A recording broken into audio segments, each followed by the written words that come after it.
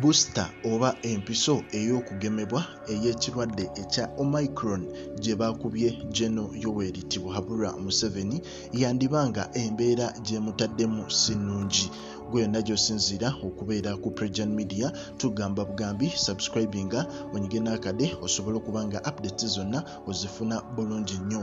Okusinziira ku bwino obw'enjawulo afulumye olunaku olwaleero kiraga nti omukulu geno museveni bamukubye busita jab oba empisa eyo egezaako okuba nga eziyiza akalwadde aka omicron akasikidde ekirwadde ekya covid-19 era nga kigambibwa okuba nti omukulu geno yoweri tibuhabulwa tasobola kuba nga ayimusa omukono gwe ogwa kkono.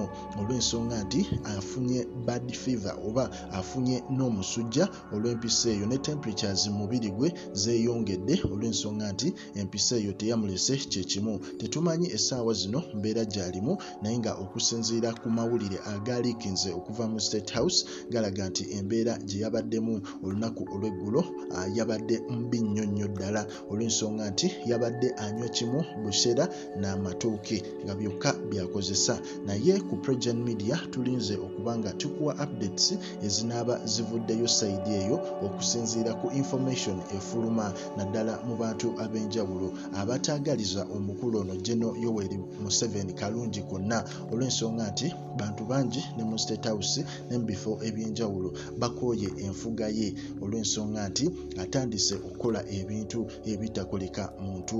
Lwaki lwaki okwata n'otandika okuba nga otaganjula ssemateeka naddala wakukigambibwa okuba nti ba mp bokka be balina okuba nga balonda pulezidenti w'eggwanga erya uganda so nga ate bannansi baamu abakola eggwanga tebalina lukusa kulonda pulezidenti so ebintu nga bino bituuse abantu ku mitima towa nextent nti abasinga beekyaye kyova olaba nti buli kyonna ekiba kituukawo baba balina okiraga ensi yonna. Ku pregen media ffe tukuwa updates tugamba bugambi subscribinga onyige n'akade oleme kusubwa mawulire